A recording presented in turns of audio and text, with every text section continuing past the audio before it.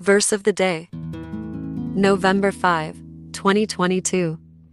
And they were all amazed, and they glorified God, and were filled with fear, saying, We have seen strange things today. Luke chapter 5, verse 26.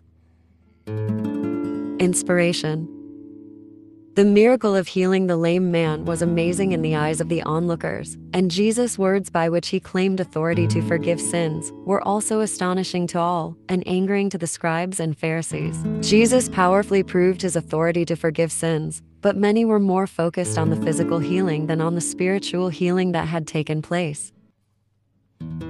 Let us pray. O healer of souls, we come to you, Lord, desiring that you would forgive us our sins and heal us from the harm those sins have done to us spiritually. We know that you will not turn away the truly penitent man, but will hear him and bury his sins in the depths of the deepest sea. We know you will cast our confessed and forgiven sins behind your back and hurl them into the land of forgetfulness forever. Help us to come to you in true repentance and with faith in your merciful nature. Amen.